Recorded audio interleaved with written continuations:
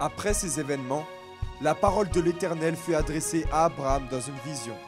Et il dit, Abraham, ne crains point, je suis ton bouclier, et ta récompense sera très grande. Abraham répondit, Seigneur éternel, que me donneras-tu? Je m'en vais sans enfant, et l'héritier de ma maison, c'est Eliezer de Damas. Et Abraham dit, Voici, tu ne m'as pas donné de postérité, et celui qui est né dans ma maison sera mon héritier. Ou Dieu est avec nous, ou il ne l'est pas.